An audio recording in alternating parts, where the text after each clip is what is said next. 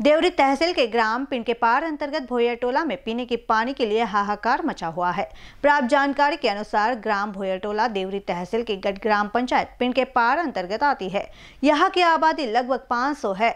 गाँव में दो वर्ष पूर्व बोरवेल खोदे गए थे। लेकिन बोरवेल का पानी मेला आने की बात स्थानीय नागरिक बताते हैं, जिसके कारण दोनों बोरवेल के पानी का कोई उपयोग नहीं हो रहा है। गाँव में गर्मी की नल योजना भी बंद पड़ी हुई है। वर्तमान में केवल एक हैंडपंप शुरू है, जहाँ से सुबह पाँच बजे से पानी ले जाने के लिए ग्रामीणों की भीड़ होती है। इस संबंध में सरपंच से पूछताछ करने पर वे जल्दी समस्या हल करने की बात कहकर अपना पल्ला झाड़ लेते हैं।